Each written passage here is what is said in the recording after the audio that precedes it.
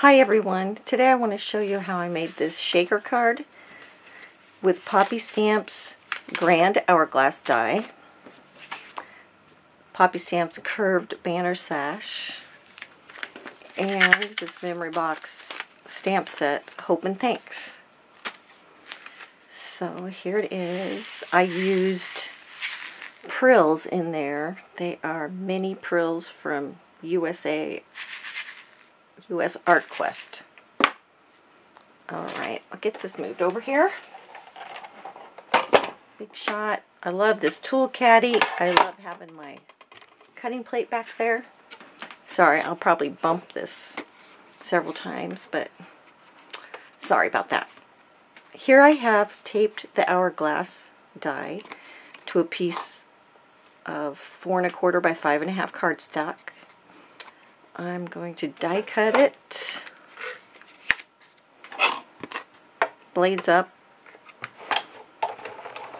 at a little bit of an angle just so it goes through the rollers easily. Oops, didn't want that in there. So there we have it cut. Now I need to cut this shape in the foam. I have two layers of that craft foam stuff here that I cut four by five and a quarter. I'll lay that on there and trace in here so I know where to put the die to cut the foam.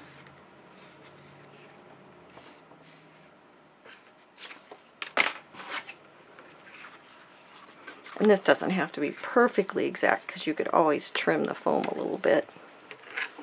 So I'm not going to sweat it too much.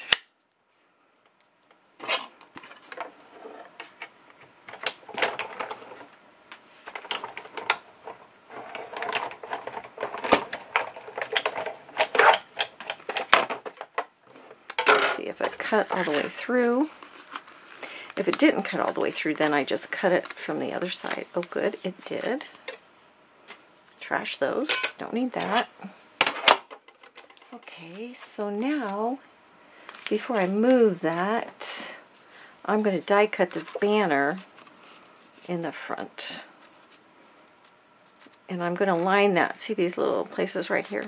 I'm going to line those up with the sides of those hour of that the hourglass.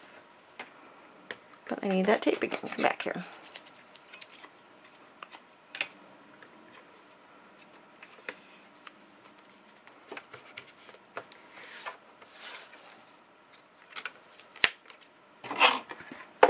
Run it through.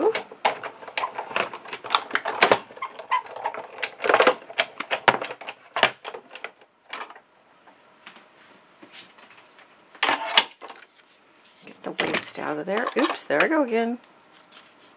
I need to get a holder for my iPhone so I could use the iPhone for videos instead of this camera.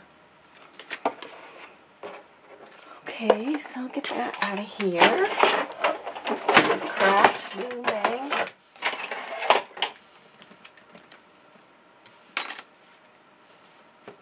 Okay, so now we need acetate on the back of there. I have a piece of that cut just to cover the hourglass. Put some tape around there good.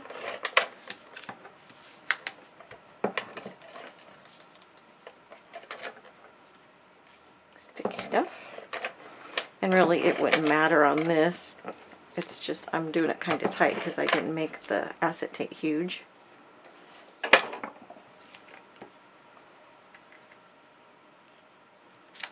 Get that taped on there.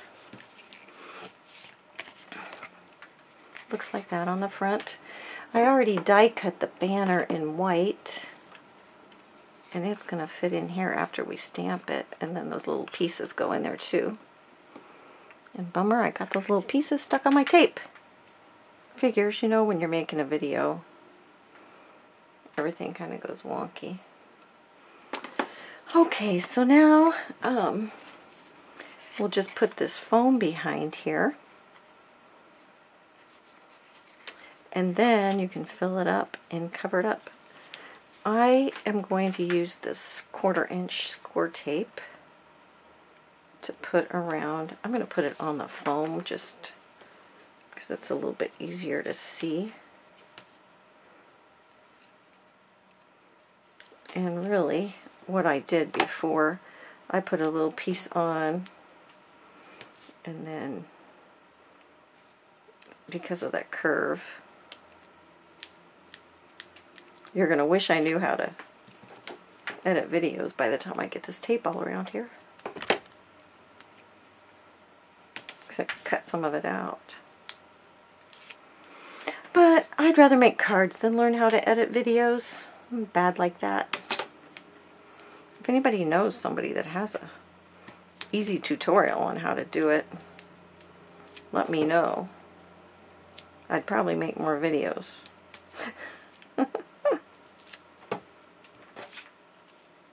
Maybe you wouldn't want that. oh dear. We're getting there. Hang in there. I wasn't going to do this, but somebody asked if I was going to show how to do it, and I thought, oh, I could do it in a couple hours. Ugh. This is only my third start. Hopefully it'll be the last.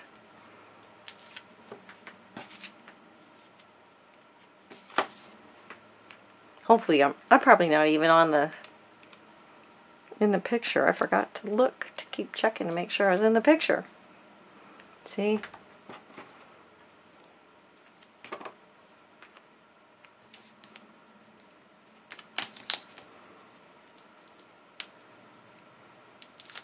Ta-da! I made it. Okay, so now I'm going to stick this thing on here. Am I on the picture? There we are. Hopefully I can get it on there straight without standing right over it. Okay. Press that on there. Oh, I forgot to put score tape between there before I die cut it normally I would take this big wide score tape and put it between there and then I would have to mess with doing this around both of them. Oh, I'm not going to do that right now. I'll have to do that later. But you would put these prills in here and then stick your card back on there and card base, I mean. I just used uh, 8.5 by 11 and I cut it the long way vertically because I like top folding cards. They're easier to take pictures of. So you would glue, after you get that filled up, you would glue this to that. Then I need to make this banner that fits in here that says, for a wonderful time. And what I did was I stamped thank you up here with my MISTI. And what I did for this for stamping the banner, I thought I would show you because that kind of can look a little intimidating. I had this one that I cut just to see how it would work. So I kept it and I used it, stuck it in here for a template for my stamping so I can put that white in there. Ink up the stamp. Oh my memento stamp pad got moved. I'll use this. I, I laid it on the banner and then hooked it to the MISTI and then curved it a little bit. Kind of messed with it until I got it the right shape. Well, I hope it's the right shape. Not too bad. Okay, so now we've got that. Let's just stick that in there. And then stick these other pieces in there.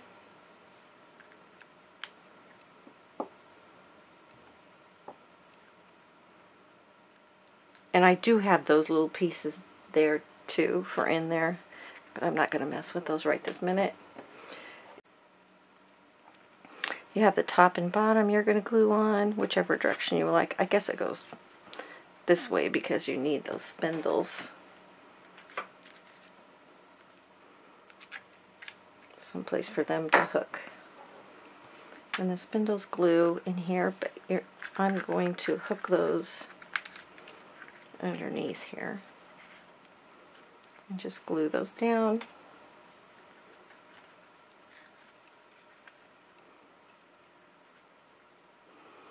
And then stick these back in there. And that's all there was to it. Thanks for watching. Bye.